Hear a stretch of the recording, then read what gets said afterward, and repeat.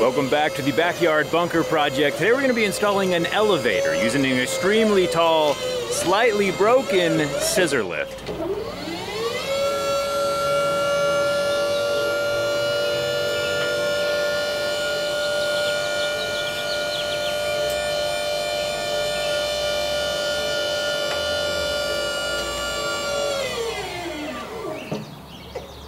This is uh, really high. This video is sponsored by KiwiCo, but more on them later.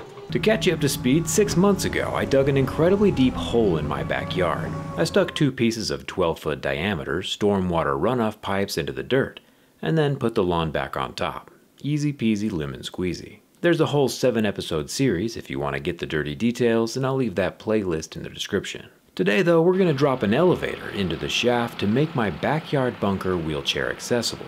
Regular elevators, however, are ridiculously expensive. For example, the one I installed in my living room costs over $24,000, and this bunker has a budget. So to simplify things, I found a used broken scissor lift in the classifieds for just $3,000, and it goes up and down perfectly great.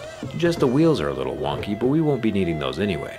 And fingers crossed, it should get the job done just fine.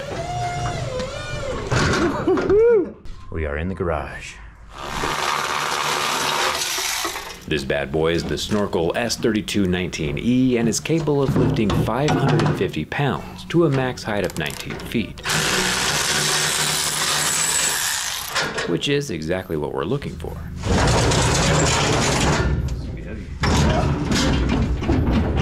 It looks like there's a lip on the back of this uh, metal beam.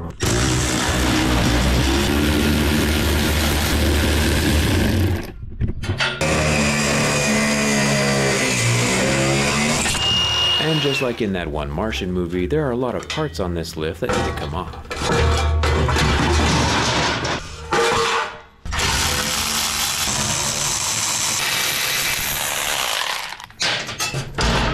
Not for weight savings in our case, but more just to use our space down in the bunker more efficiently.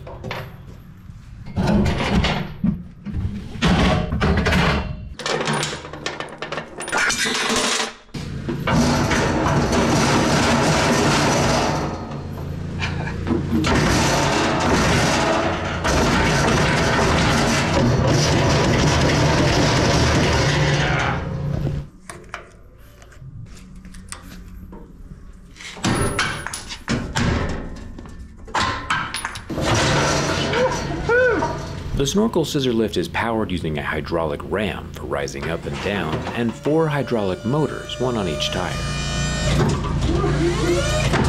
Okay. Getting a little close there to the garage door. We need the ram, obviously, but pretty much everything else can go. We don't need those tires anymore, and we can just put plugs into the removed hydraulic outputs in the manifold.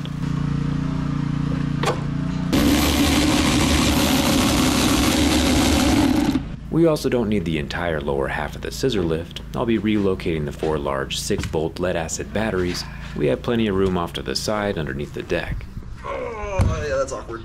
I'll be upgrading these to lithium later for better longevity. Lead acid requires too much maintenance for a bunker. We also need to make sure it all works down in the bunker hole first before fine tuning the final product. If we wait till it's perfect, it'll never get done. Oh, it's heavy.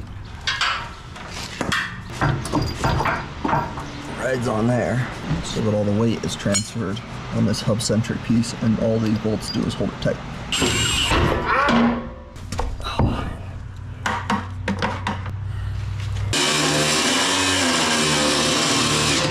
The real reason we're modifying the base is so we can add some adjustable leveling capability to the elevator. An elevator that rises up at an angle doesn't help us out very much and would be dangerous.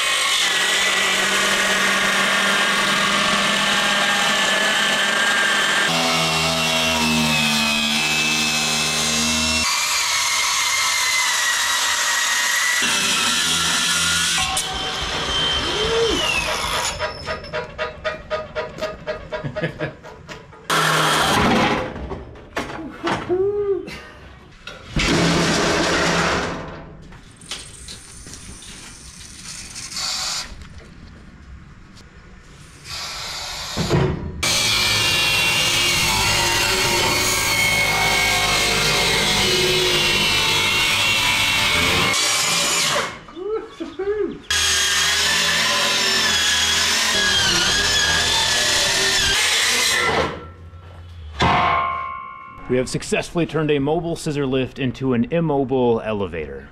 Partially. There's still a little bit more we gotta do.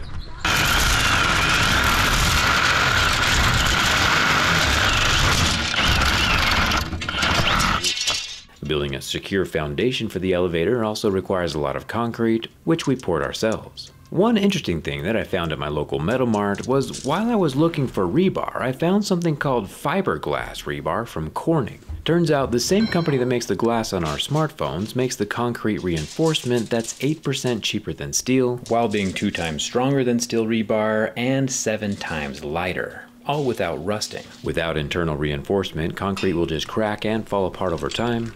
The ridges on the rebar and its grid-like structure will help hold the pad together. We know that our bunker tubes are designed to last about 100 years underground, and I imagine this concrete slab will now also be here for my grandkids' grandkids. One additional thing to keep in mind is that dry concrete dust has some nasty stuff in it, like silica, which can shred your lungs from the inside, which is not on my list of things that sound fun, so masks are rather important. We're mixing the dry concrete with water to get an oatmeal-like consistency and then dropping it down in the hole with some satisfying splatters.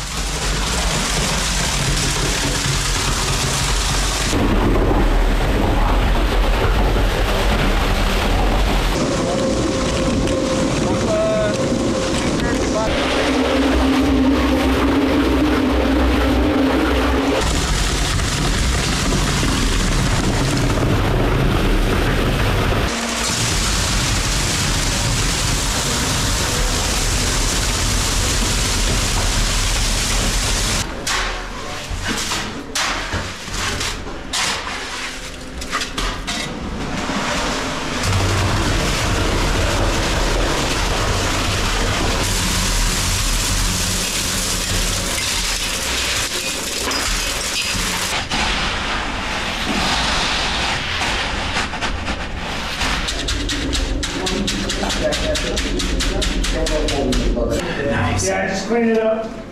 Before the concrete has time to harden, I'll throw in four steel embed mounting plates. That'll give us something to weld our custom leveler to once it does dry. These don't have to be perfectly level yet, and that part can come later. Huge thanks to KiwiCo for sponsoring this video. They've sent me one of their Eureka crates, which has a two-in-one lantern inside, which is perfect for the bunker. If you haven't guessed already, I'm a huge fan of science and engineering, and KiwiCo allows kids and teens of all ages to experience discovery and success with monthly hands-on projects of their own. These projects get delivered right to your door. Designed by experts, KiwiCo has shipped more than 50 million crates to more than 40 countries worldwide. Good for ages 0 to 100, the fun, innovative projects expand the mind with constructive educational entertainment, like this two-in-one lantern. Cambry and I like to give these KiwiCo subscriptions away for birthdays or holidays, and they're especially fun during the summer when kids might not be in school. Glad I have this lantern to illuminate the bunker during Cambry's first trip underground, cause first impressions are important and I hope she likes it. Use code JERRYRIG to get 50% off your first month. With nine different lines, there's something fun for everyone. KiwiCo.com slash jerryrig. Now that our two-in-one lantern is finished, let's get this deconstructed and reconstructed elevator down in the bunker so Cambry can visit us for the very first time. While we're waiting for the concrete to dry, we designed an adjustable mounting bracket in SolidWorks and had it laser cut and bent for about 200 bucks from Oshcut.com, just like we do with all of our other projects. The more perfect and square we can make our mounting bracket now, the easier it'll be when the elevator goes into the shaft.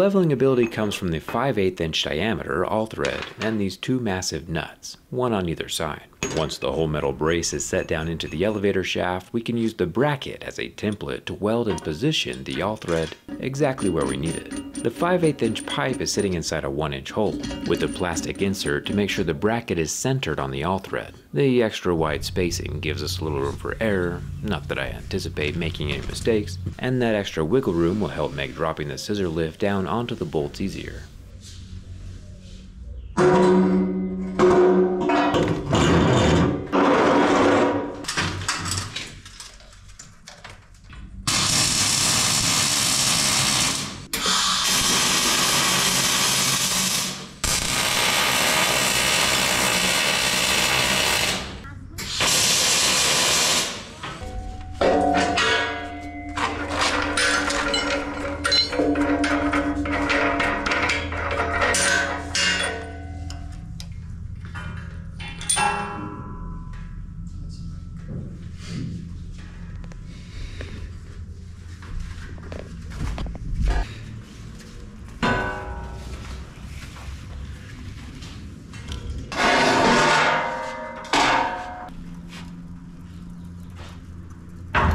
And now that it's being done used as a template, we can weld that leveling bracket to the base of the scissor lift and cut away the temporary cross members.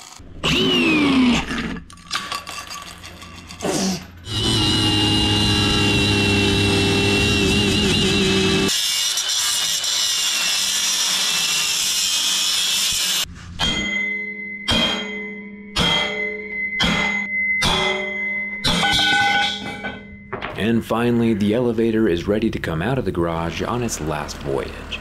With all the excess metal removed and the hydraulics taken off, I'd be surprised if what's left weighs more than 1,500 pounds, which is a cakewalk for the telehandler which can handle about 15,000, depending on how extended the boom gets. These telehandlers are pretty much the most versatile pieces of equipment on any construction site. They can even crab walk like a Hummer.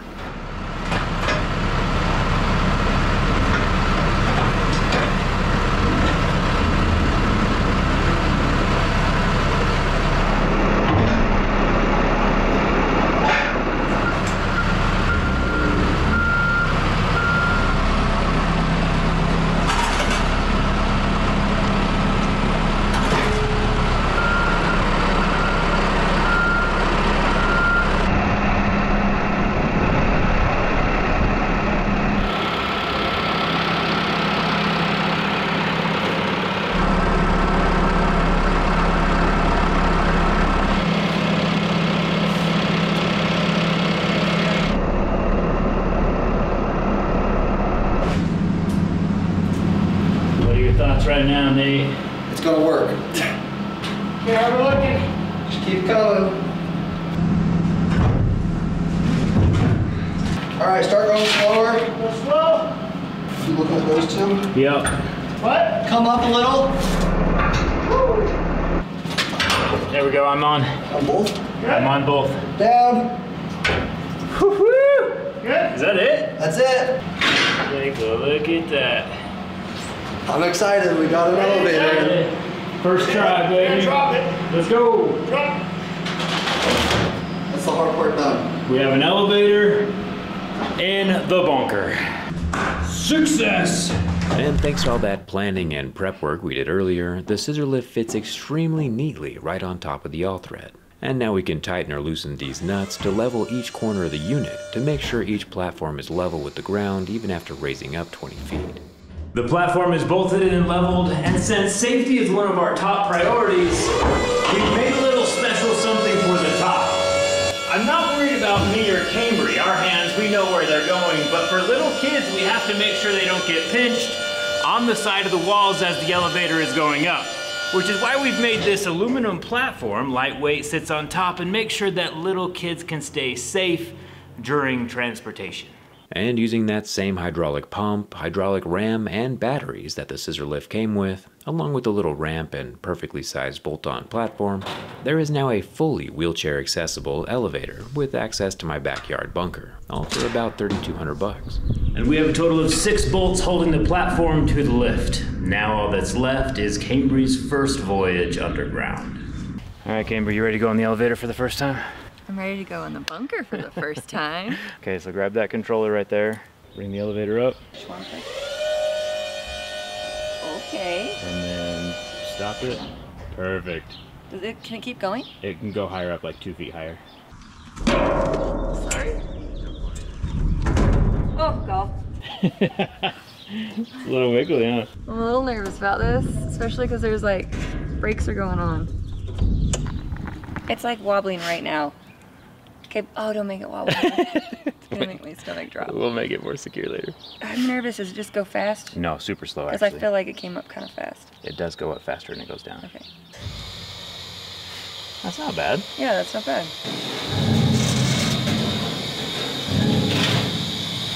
Say goodbye to civilization. Oh my god. Oh, okay. Here we are. Oh, is this it? yeah. Does it go down any lower? No, that's it. It smells like a bunker. Yeah. Come on in. Okay. Oh, this does not feel safe. Is this safe? You're fine. 100% safe.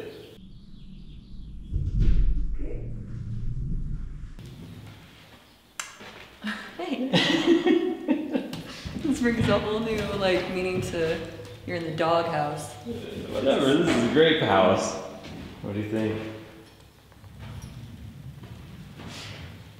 I'm still just taking it all in. It's bigger than I thought. Like this is kind of cozy. I think I was expecting it to be more like I don't know, creepy. This is cool. Yeah. This is like bat cave esque.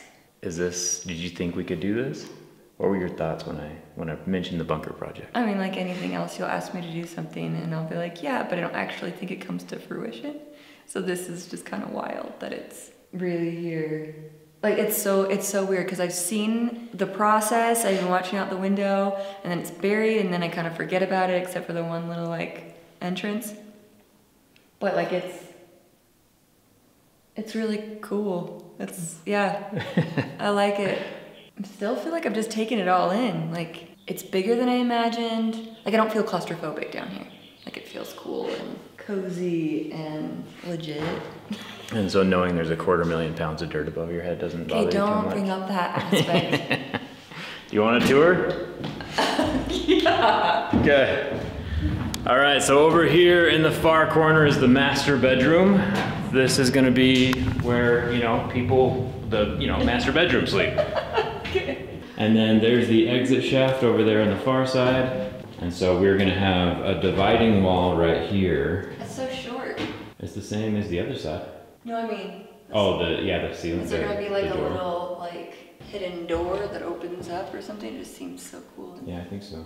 And then up here in the top, we'll have either like a library or like an armory that like folds down. And then here's gonna be like a bunk room with bunk beds on this side. And then here at the middle point where we welded both the pieces of tube together is gonna be the largest TV you've ever seen. And then kitchen on this side, combustible toilet over there. Whole thing powered by EcoFlow batteries, and then like a couch and stuff over here. So it'll be even more cozy. Can't wait to see a crypto life. And now you can come down whenever you want. Probably won't be that frequent. it's, it's a little sketchy getting down here. A tiny bit. Well, want to finish this off? Thanks, Jen, for watching. We'll see you around.